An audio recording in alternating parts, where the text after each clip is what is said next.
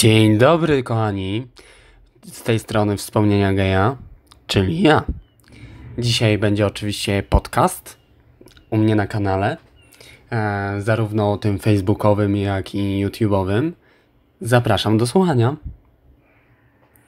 E, co prawda, na ten moment zabrakło mi kawy, bo zdążyłem ją wypić. Dlatego też e, skupię się, mam nadzieję, na tyle, że podcast nie będzie długi. W tle będziecie słyszeć oczywiście moją grę. Jest to SimCity Build It. Eee, dlaczego ją? No bo jakoś tak e, akurat teraz gram, nagrywam e, materiał do e, moich, mojego innego projektu, um, który firmuję swoim nazwiskiem. A z racji tego, że jakoś tak lubię ten projekt e, i tutaj są e, słyszalne fale, no to fale, taki szum o szum, e, szum jakiegoś morza. E, teraz jest, wczoraj bardzo mnie to zainspirowało do wyjścia na dwór, chociaż było bardzo gorąco, jak się okazało, słońce bardzo mocno paliło. E, no to uważam, że to było bardzo fajne wejść tak na balkon, na słoneczko i wygrzać trochę dubsko nie, nie siedzieć cały czas po prostu na kanapie, czy też e, w moim przypadku e, na mm, biurkowym e, takim krześle po prostu. Bo najczęściej w, w ten sposób pracuję. Oczywiście nie przyrosłem do tego krzesła, dlatego też um, czasami wychodzę, coś robię, tak, ro, chociażby spacer z moim e, kundlem. E, no, trzeba, są obowiązki, tak Natomiast y, dlaczego w ogóle chcę dzisiaj i co w ogóle chcę dzisiaj powiedzieć? E, przeglądałem sobie tak trochę grupy, e, trochę sobie szperałem tu i tam wczoraj e, i tak zauważyłem, że niestety bardzo wiele, wielu najczęściej, mam na myśli oczywiście facetów, najczęściej wielu z Was jest bardzo smutnych. Nie wiem dlaczego, co jest spowodowane tym e, przykrym stanem, ale e, mam nadzieję, że przyszłe moje felietony, posty, e, jak i zarówno mm, moje podcasty, może, może nie ten konkretnie, ale kolejne, spowodują, że w jakiś sposób chociaż przez chwilę się uśmiechniecie. E, bo dlaczego w ogóle, skąd taki pomysł, taki plan? Dlatego, że mam, pomimo tego, że bardzo często publikuję jednak smutne rzeczy, tak jak i wasz nastrój, bo, bo takie jest życie, to jednak mam sporo, sporo, sporo, bardzo wiele rzeczy, tematów, przemyśleń, które są jednak wesołe. Poza tym mogę się podzielić, pochwalić e, fajnymi rzeczami z mojego życia może to w jakiś sposób e, Was zainspiruje, czy um, pobudzi do jakiegoś takiego działania, ożywi troszeczkę, rozweseli, e, da pewną jakąś nadzieję na to, że można inaczej, że można lepiej, że będzie lepiej. No ale oczywiście nie wszystko od razu i nie, nie wszystko tak, że strykniesz palcem i, i, i już wszystko się zmieni, wszystko się naprawi. E, tak niestety nie będzie. E, musisz przede wszystkim wstać z łóżka, e, przestać wypisywać głupie teksty i, posty, bo mi się nudzi. Niestety nie ma czegoś takiego jak czas na nudę. Owszem, można poleniuchować, jeżeli masz czas na leniuchowanie, to cieszę się Twoim szczęściem, naprawdę. Ja tego czasu nie mam. E, więc nawet zazdraszczam Ci tego, że masz e, taką możliwość. Natomiast nie zmienia to faktu, że nie ma co czekać, siedzieć, leżeć na kanapie i się nudzić, tylko po prostu działać. Działać można naprawdę na różny sposób, w zależności tego, czego oczekujesz, co chcesz, do czego zmierzasz, do czego dążysz. Dzisiaj się pobawię w takiego coacha. E, chociaż oczywiście zaznaczam, że nie mam żadnych uprawnień, czy, czy jakichś, nie wiem, szkół pokończonych w tym kierunku, to się po prostu zabawię z, z, dla Was w takiego coacha. E, wyobraź sobie, że właśnie w tym momencie siedzisz na kanapie, e, czy krześle, czy cokolwiek innego. Piszesz posta, że Ci się nudzi, żeby ktoś popisał. A dlaczego nie zrobisz czegoś, na co masz ochotę? Czyli dlaczego nie zrobisz, nie wiem, gorącej kąpieli sobie, dlaczego nie pójdziesz, nie, nie weźmiesz gorącego prysznica, dlaczego nie zrobisz sobie kakao, dlaczego nie wyjdziesz na chociażby ten balkon, e, dlaczego nie włączysz głośniej muzyki i nie zabujasz biodrami, tylko po prostu usiądziesz zrezygnowany i napiszesz gdzieś tam na, na, na jakimś poście na Facebooku czy innym kurwidołku, jak ja to mówię, dlaczego piszesz, bo ci się nudzi, popisz ktoś, zabaw mnie. Przecież to ty wiesz najlepiej, to ty się znasz, siebie, jako człowieka, to co lubisz, co lubisz robić, jak lubisz robić, kiedy lubisz robić. Nieważne, czy to jest gra, czy to jest e, tak jak na przykład ja teraz e, gram. Poniekąd gram, bo, bo właśnie gram z racji tego, że potrzebuję materiału, więc muszę grać. E, poniekąd jest to moją pracą, częścią mojej pracy. A z drugiej strony, e, no, wy też możecie na przykład zagrać w grę, możecie zrobić naprawdę masę innych rzeczy. Nie chcę podpowiadać e, jakoś konkretnie, dlatego że nie znam was wszystkich. E, Natomiast widzę, że coraz chętniej słuchacie tego, co do Was mówię, Mm, więc skoro chcecie słuchać, to bardzo proszę. Chcę, żeby to, co mówię czy piszę, miało dla Was jakąś wartość i żeby w jakiś sposób Wam pomóc. Cokolwiek bym nie powiedział, chcę, żeby to po prostu Wam jakoś pomogło. E, bezpośrednio czy pośrednio, bo zacznie stymulować Wasze myślenie, ale mam nadzieję, że to pomoże. E, więc wracając do tematu. Przepraszam. E, nie rozumiem dlaczego i chciałbym, żebyście zmienili w ogóle sposób działania i myślenia. Mianowicie, zamiast pisać posta na fejsie, czy na kurwidołku jakąś wiadomość, czy tam w opisie swojego profilu e, nudzi mi się, zrób coś, e, nie wiem, zabaw, popisz i tak dalej, to po prostu zróbcie to, na co macie ochotę. Jeżeli nie macie na nic ochoty, to spróbujcie znaleźć sobie sami zajęcie. Mianowicie, jesteście w domu, ok, nie możecie pracować lub pracujecie zdalnie, fajnie, ale wam się nudzi, bo macie za dużo czasu. W porządku, wszystko jest zrozumiałe i ja absolutnie nie mam o to pretensji, to dobrze, ale spróbujcie sami wypełnić sobie e, to miejsce. Mianowicie jak? Możecie spróbować coś ugotować. Bardzo często, bardzo często i bardzo wielu z Was pisze do mnie, że macie jakieś tam plany e, takie czy inne e, do, do zrealizowania, które chcielibyście wy wykonać, ale nie macie czasu. E, To znaczy przed tą pandemią tak było, że pisaliście mi takie wiadomości. To, to było tysiące wiadomości już na ten moment. E, może spróbujcie po prostu zrobić właśnie coś z tej listy swojej rzeczy, których nie mogliście zrobić, bo nie było czasu. Bo trzeba było na przykład codziennie być w pracy.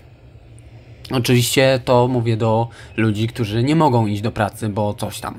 E, ludzie, którzy chodzą do pracy, no to wiadomo, mają pracę, mają swoje obowiązki i żyją jak gdyby normalnym trybem życia, o tyle, że mają, ma, macie utrudnione to, że no, trzeba chodzić w tych wszystkich nakryciach e, twarzy, w sensie dróg oddechowych i tak dalej, i tak. E, kolejki są, więc to się Wam wydłuża, w sensie wszystko zabiera czas ale ludzie, którzy nie chodzą do pracy, e, może spróbujcie po prostu zrobić coś, na co macie ochotę lub planowaliście już jakiś czas, ale nie mieliście tego czasu. Może być to gotowanie, może być to zagranie na przykład w jakąś grę, e, czy, czy nie wiem, obejrzenie serialu. E, to bardzo jest popularny pomysł na nudę, e, dlatego nie lubię tego powtarzać, bo nie lubię robić rzeczy, które już ktoś powiedział, wymyślił, zrobił, mm, bo po co się powtarzać. Ale skoro przychodzicie do mnie i pytacie mnie o takie rzeczy, no to albo tamte pomysły nie są wystarczające, albo szukacie potwierdzenia lub pomysłów, przepraszam, które rekomenduję ja.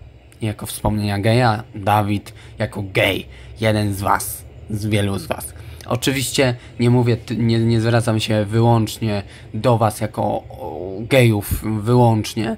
E, Przecież tego podcasta słuchają nie tylko osoby homoseksualne i nie tylko mężczyźni czy chłopacy.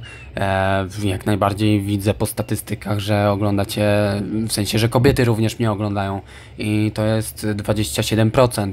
Wiele, niewiele, ale zawsze jest jednak to spory odsetek e, ludzi przy naprawdę wielu tysiącach e, unikalnych użytkowników. Jest to naprawdę spora grupa jednak kobiet i kobiety tak samo mają prawo, czy dziewczyny, nieważne.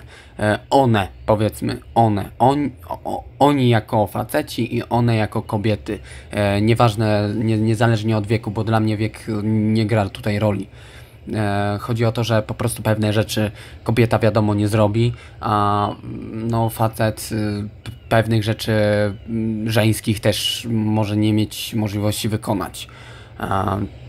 Nie, nie podam teraz żadnego przykładu, bo, bo nie będę wymyślać, nic mi się nie nasuwa, ale chodzi o sam fakt. Po prostu pewne rzeczy mo, mo, może na pewno Was poróżnić, e, więc nie, nie chciałbym e, konkretnie mówić ani jednej grupie, ani drugiej grupie, ty zrób to, tu, ty zrób to. Spróbujcie, ja podam kilka pomysłów, już w zasadzie kilka podałem. I to, w jaki sposób możecie w ogóle zmienić swoje myślenie. E, I może się uda. Bo może się uda, że nie wiem, w jakiś dziwny, magiczny sposób zapomnieliście o tym po prostu i gdzieś to wam umknęło w głowie i nie wiem, jakby szukacie dlatego między innymi u mnie porady, pomocy, sposobu na to wszystko, wiem, że zamknięcie jest e, słabym rozwiązaniem. E, no, mnie osobiście to nie przeszkadza, dlatego że no, sam doskonale potrafię znaleźć sobie zajęcie, mam tych zajęć mnóstwo.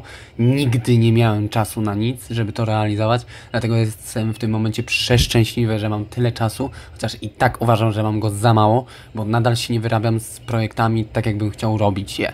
Nadal no, po prostu no, brakuje mi czasu albo ludzi, którzy by wykonali pewne rzeczy za mnie, ale z drugiej strony nie zarabiam na tych projektach w większości przypadków, więc też nie chcę nikogo zatrudniać, bo no, to byłoby nie fair, jeżeli ktoś by dla mnie pracował, a ja bym nie był w stanie mu zapłacić za wykonaną pracę.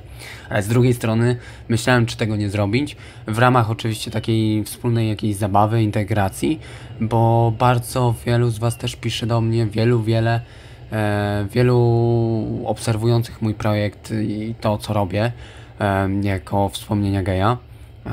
Piszecie do mnie z zaciekawieniem po prostu i, i widzę, czytam nawet bezpośrednio, że chcecie być częścią mojego projektu. E, I tak się zastanawiam, czy właśnie no, nie, nie połączyć tego, e, że wy potrzebujecie jakiegoś zajęcia, e, ja bym coś po prostu wam zlecił, wy byście to zrobili dla mnie. No nie wiem, zastanawiam się na razie. Mm, możecie napisać w komentarzu, e, czy we wiadomości prywatnej, co wy o tym sądzicie. Na ten moment, powtórzę raz jeszcze, proponuję zobaczyć e, na swoją listę e, każdego, każdej z Was to, co planowaliście przez dłuższy czas do zrobienia. Jeżeli macie czas kwarantannowy, gdzie nie wychodzicie z domu i siedzicie po prostu w domach, to zobaczcie na swoją listę zadań, rzeczy do zrobienia. Takie, które oczywiście nie wymagają ani nakładu najlepiej finansowego, ani e, przede wszystkim wy, wychodzenia, szczególnie e, kiedy teraz e, można mandat dostać za, można powiedzieć, nic. E, spróbujcie może obejrzeć jakiś film, serial, e, może jakiś Netflix, jak nie macie własnego konta, to po prostu po, pogadajcie, wymieńcie się wspólnie po prostu. Jest wiele osób, y, które tak jak ja na przykład też nie mają własnego konta, ale z kimś współdzielimy te konta e, w Netflixie najwyższym poziomie, najwy w najwyższym pakiecie e, można połączyć 5 osób nawet, przy czym tylko 4 jednocześnie mogą urządzenia funkcjonować, działać, oglądać w jednym czasie. E, czyli takie 52 zł czy 56 zł na 4 osoby, załóżmy, że 4 osoby będą jednocześnie oglądać, no to macie za kilkanaście złotych miesięcznie oglądania po prostu full wypas wydaje mi się, jestem przekonany, że jest to naprawdę spoko opcja, zważywszy na to, że macie legalne źródło oglądacie, nie, legalne źródło oglądania. Nie musicie się zastanawiać, myśleć, martwić, że ktoś zaraz wam zapuka do drzwi i będziecie musieli ponieść jakąś karę finansową za piractwo itd., tak itd. Bo takie rzeczy też mają miejsce. Niestety piractwo jest bardzo mocno ścigane i będzie ścigane. Ja osobiście jestem za tym, żeby było ścigane. Po prostu powin... no nie powinno się kraść treści. Rozumiem brak finansów, ok, ja też mam no może nie mega ciężką, ale w jakiś tam sposób mam trudną sytuację również finansową, ale nie wyobrażam sobie kraść. Po prostu wolę sobie coś odmówić e, niż, niż po prostu kraść. E, I odradzam, osobiście odradzam kradzenia cudzej treści. E, bo jednak ktoś musiał wykonać pewną pracę, e, no i musiał to zrobić, żeby to wszystko działało i, żeby taki ktoś jak ty miał możliwość zobaczenia tego. Także może jakiś Netflix, może jakiś HBO. Ja wiem, że niektórzy mają e, w pakiecie po prostu do swojego abonamentu e, telewizyjnego HBO i nie korzystają, po prostu płacą, jest to w ramach abonamentu. Może pogadajcie z kimś, kto ma takie HBO Go i może się z Wami podzielić e, po prostu dostępem podzielić e, odpłatnie czy nie, e, bo nie, niektórzy po prostu nawet nie wiedzą, nie korzystają, więc może nieodpłatnie, a może po prostu, nie wiem, w, w ramach podziękowania, jak mieszkacie niedaleko, e, to po prostu później umówicie się na kawę, po, po tym, kiedy już wszystko ustąpi, cała ta e, kwarantanna i te wszystkie ca całe sytuacje, bo z jednej strony, no okej, jest to poniekąd e, pro propagandowy wymysł po to, żeby trzymać ludzi w domach, ale z drugiej strony ma to jakąś rację bytu, bo jeżeli faktycznie e, ludzie będą się spotykać masowo wszyscy razem, no to raz, że nie wiadomo kto kogo zarazi, e, druga kwestia, no jest problem tego typu, że no kurczę, zwiększy to ryzyko zarażenia się po prostu jeden od drugiego, nawet nieświadomie. I poniekąd y, fajny pomysł, że, że, żeby jednak siedzieć w domu, ale z drugiej strony jest to takie, no mam mieszane uczucia, nieważne. E, w każdym razie macie już kilka pomysłów. Może być to gotowanie, może być to, nie wiem, jak masz auto, motocykl, rower, skuter, cokolwiek. To spróbuj może, nie wiem, wyczyść ten swój sprzęt, pojazd. Może masz jakąś deskorolkę, może masz jakieś inne hobby, które dotychczas nie udało Ci się realizować. Może, nie wiem, chcesz coś zbudować z kartonu, z papieru, z czegokolwiek, z butelek po prostu, z odzysku.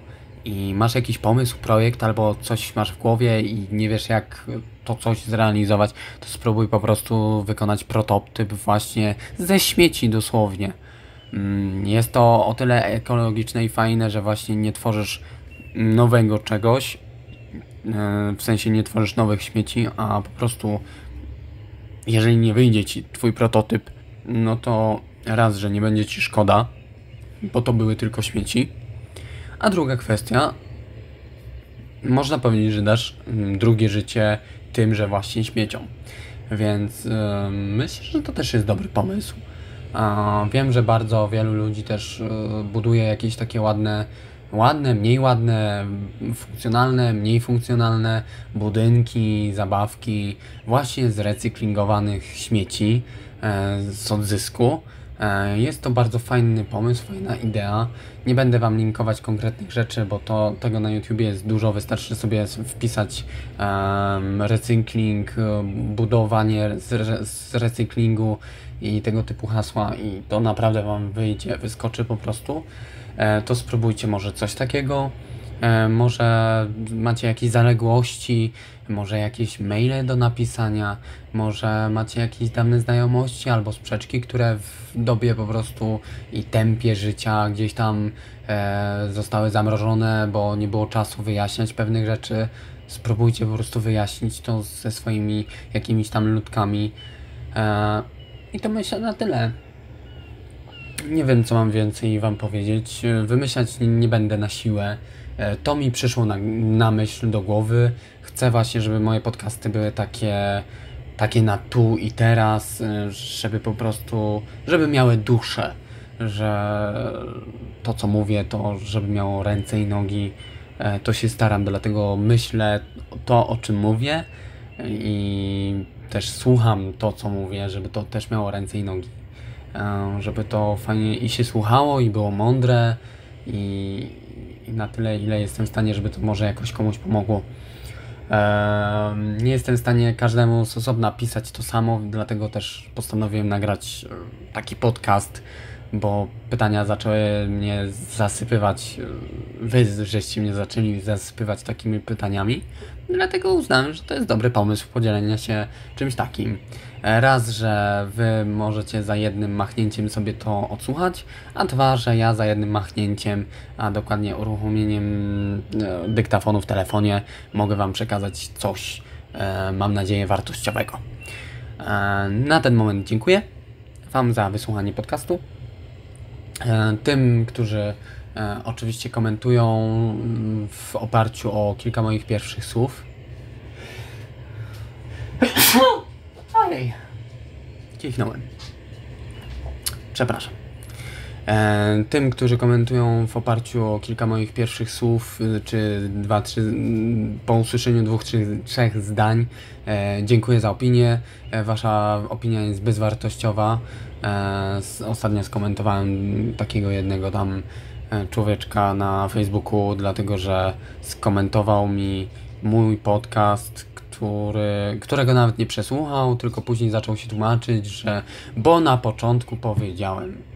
Tylko, że. Hmm, hmm, hmm. No.